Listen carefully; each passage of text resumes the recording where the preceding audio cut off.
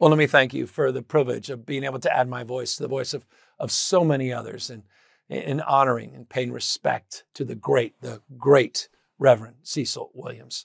Uh, Cecil was our better angel, uh, a man who was set on changing the world one life at a time, one life at a time.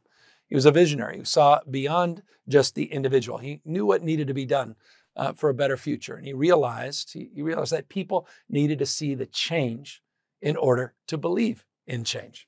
He saw pain, he saw suffering, he saw injustice, he saw poverty, and he never sat by idly.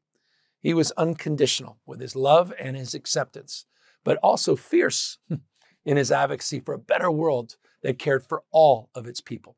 Cecil's legacy uh, shines in the small pockets of life, where, where people only know that they can be themselves without fear, where we can all belong, where we all love, or acceptance is a standard practice.